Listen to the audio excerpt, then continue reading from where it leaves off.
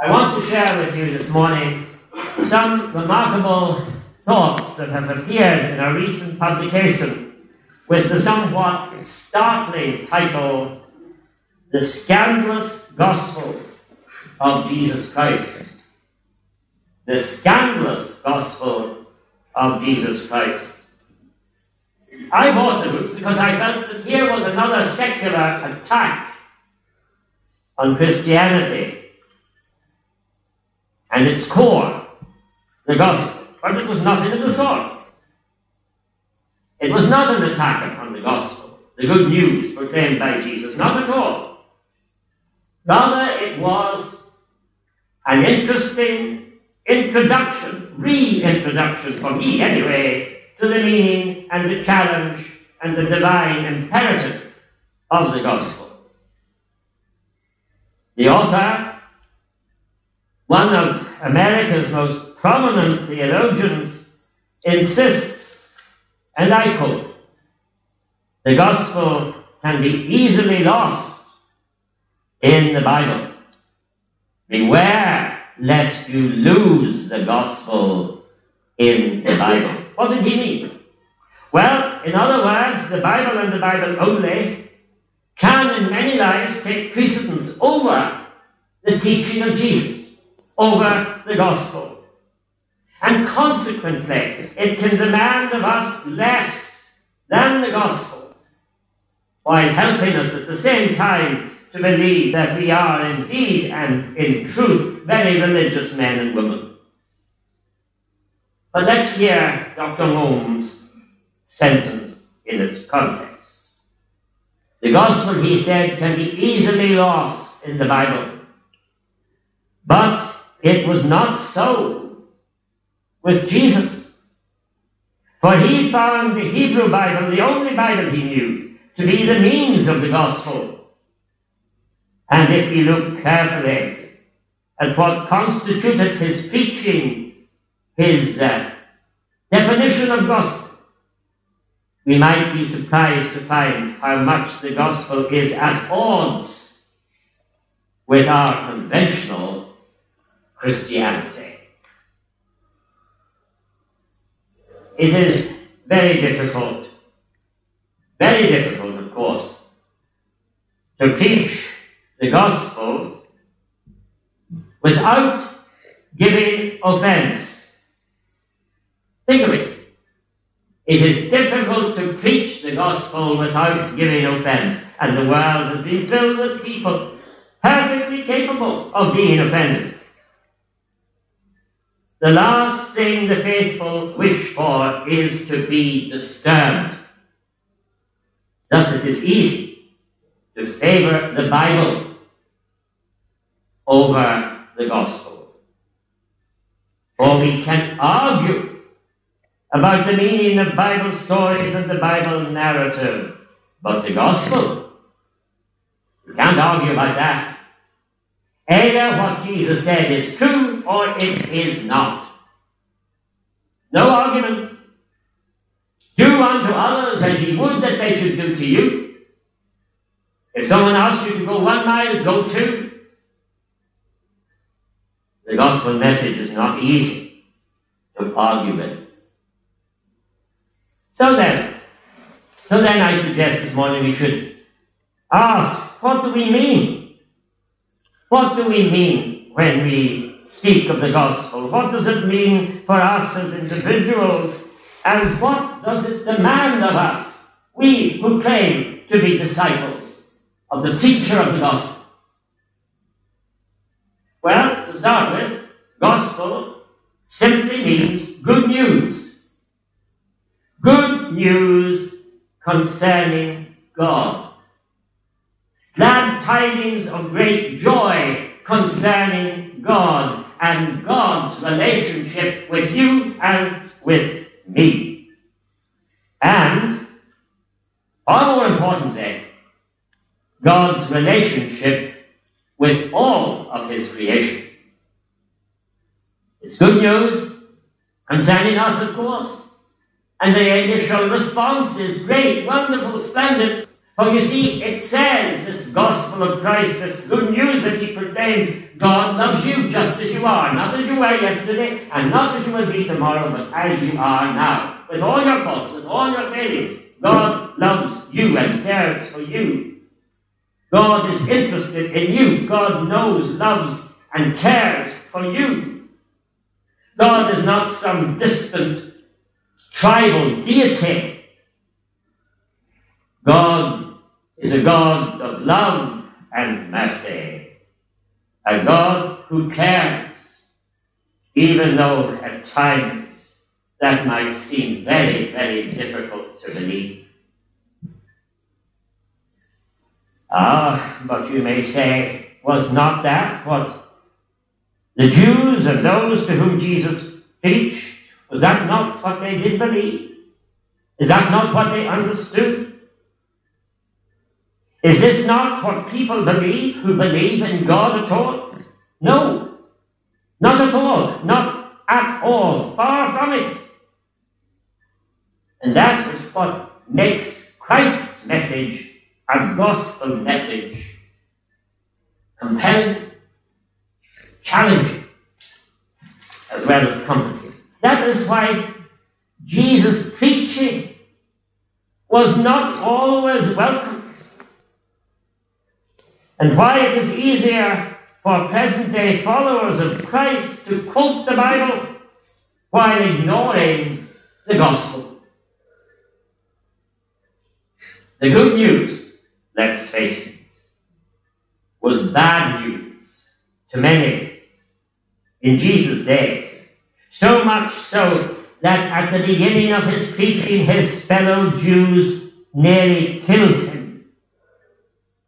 And at the end of his ministry, his contemporaries succeeded.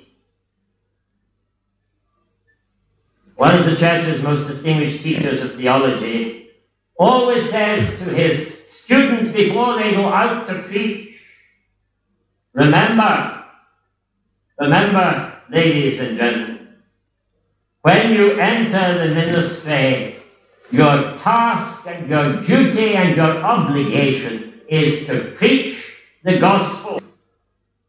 Not, not the Bible. Don't forget. Don't forget, he says. And this to many people sounds shocking. But I can hear him still say, don't forget, Jesus did not know the Bible as you know it. It wasn't printed.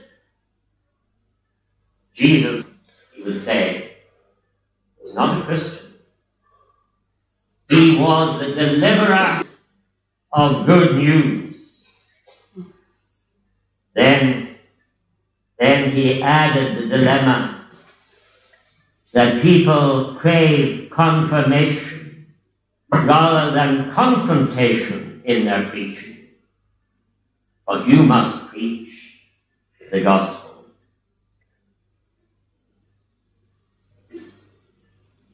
I feel it an obligation at times to remind us of how badly Jesus' first sermon went, if you think about it. Let's therefore remind ourselves of that first great sermon preached by Jesus in a building, a synagogue, a house of God for the chosen people of God. Luke chapter 4 tells us at first the young preacher was hailed by his family and his friends. His reputation had gone before him. He was referred to as one who preached with authority and not as the scribes, and so they welcomed him into the synagogue. The synagogue where he had been brought up. And Jesus did what his fellow Jews must have been delighted with. He took the scriptures, the Jewish scriptures, the Old Testament largely, and he opened the scriptures and he read from the book of the prophet Isaiah. And then, when he sat down, as was the custom, he began to preach. He began to expound what he had said from the book of the prophet Isaiah. And then, then his preaching begins trouble. If you like, the preacher ceases preaching and starts meddling. And there's always trouble when you start meddling with the lives of those who hear. Jesus applied the truth of the texts to the lives of those listening and states without favour, Today the scripture has been fulfilled in your hearing. The difficulty begins and the crisis of application takes place. Were they pleased? Not at all. The reaction was swift and it was unhappy and violent. People do not like to hear what they do not like to hear. His friends, his family would gladly have killed him. To be dragged out of the synagogue and cast over a cliff by an angry congregation of your friends and neighbours is a pretty dramatic expression of disapproval. But in one of the, the greatest bits of understatement in all Scripture, Luke concludes this episode with the words of verse 30 passing through the midst of them, he went his way, leaving behind him a very, very angry congregation. What was it, we may ask, that proved so offensive in Jesus' preaching as it is recorded in this account of his sermon in Nazareth? Well, it may well have been the arrogance of youth Jesus was, after all, a young man of 30. Although he had acquired a reputation, he was still rather new among those who preached and taught, and it was the novelty, presumably, that contributed to his reputation. He was young, which in a culture that cherished wisdom could be a liability. But in a crowd that is stimulated by novelty, youth can also be sweet.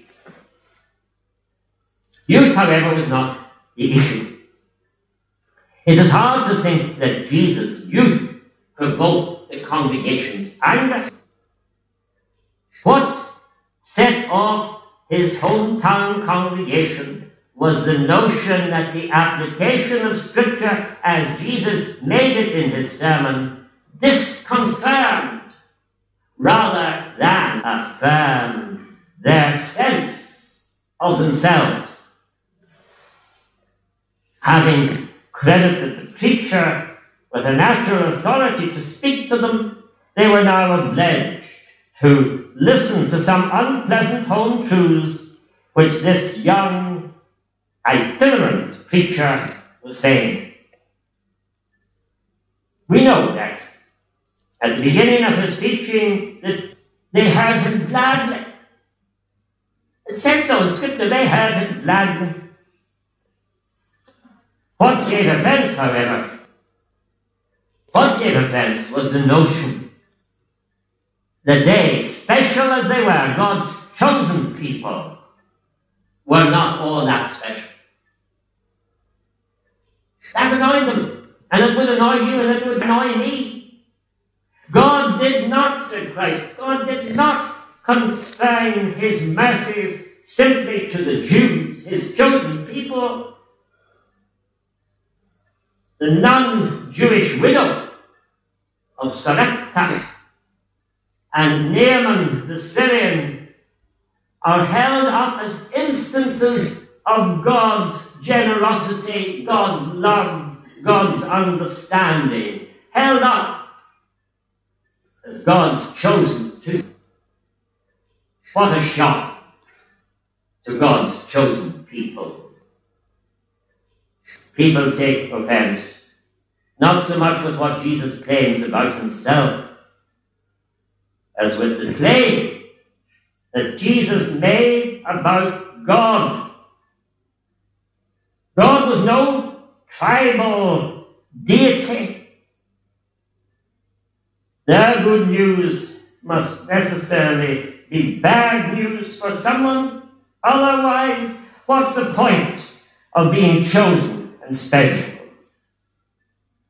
Jesus, if you like, offended the sensibilities of his hearers when he says that God is interested in people unlike themselves, such as the non Jewish widow and the heathen Naaman.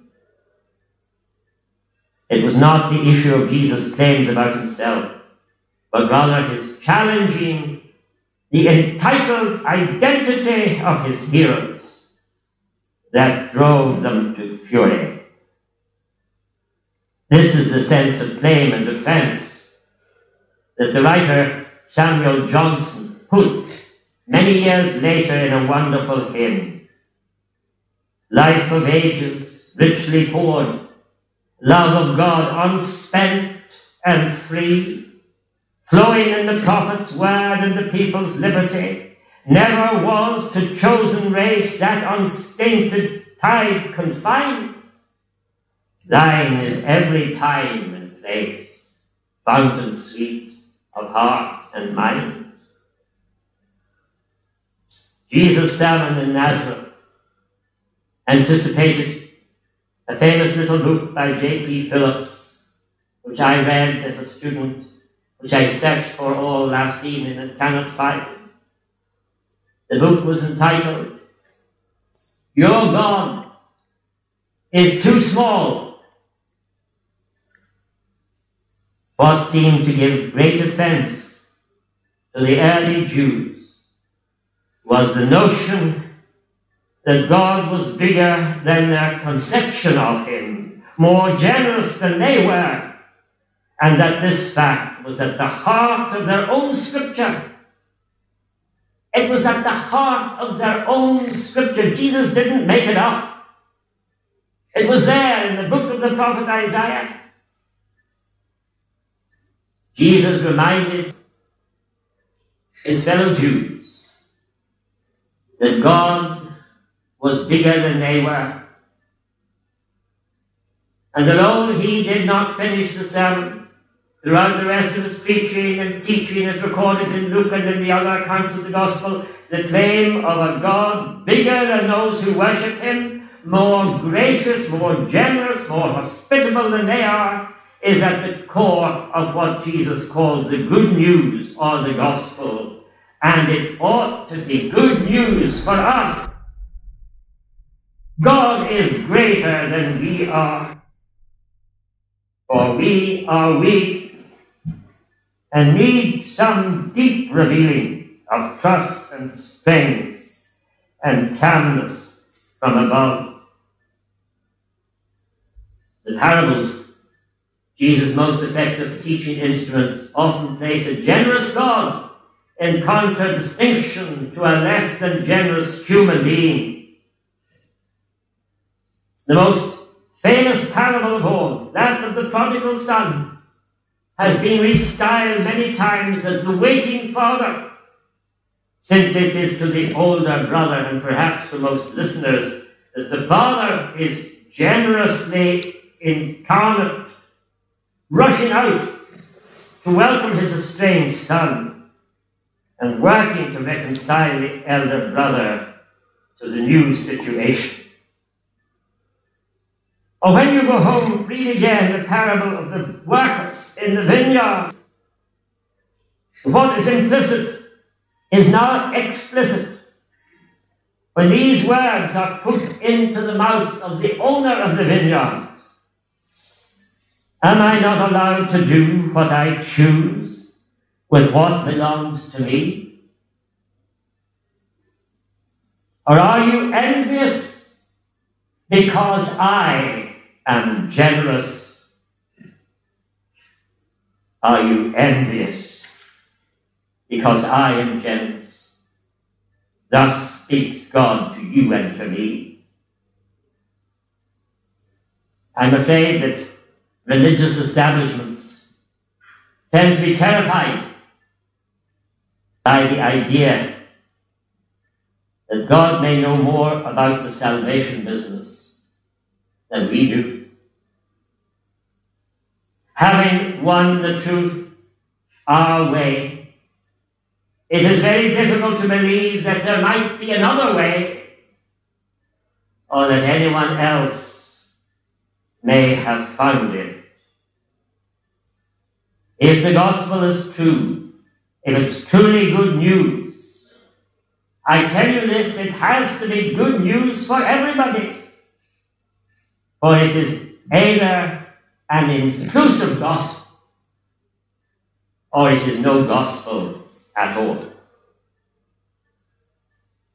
When it comes to knowing everything, a respectful agnosticism is called for.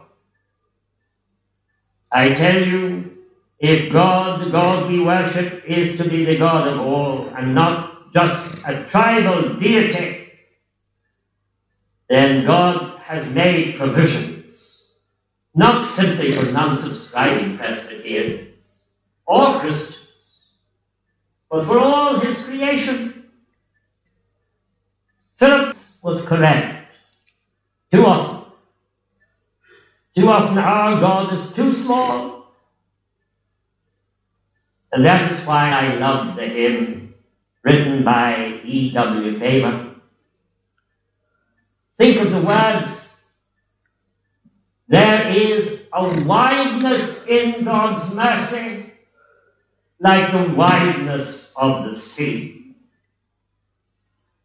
For the love of God is broader than the measure of our mind, and the heart of the eternal is most wonderfully kind. That was at the heart of the gospel. And all its implications are scandalous, for they must make you and me think and rethink again. We are not the only ones in creation. God is the creator of all. And if Christ is right, and I believe he is right, God loves me and you and all creation. What a demand that puts on you and me. Small wonder that the gospel is left better hand than acted on. Small wonder that the American writer could refer to it as the scandalous gospel, which demands more of us than we are prepared to give. Dr. Gomes tells how he was asked to preach at the church in Windsor Great Park. Her Majesty the Queen and the Queen Mother in her 101st year was there. And he was honored by being asked to return to the lodge for lunch. He says the Queen Mother remarked on how excellent the sermon had been.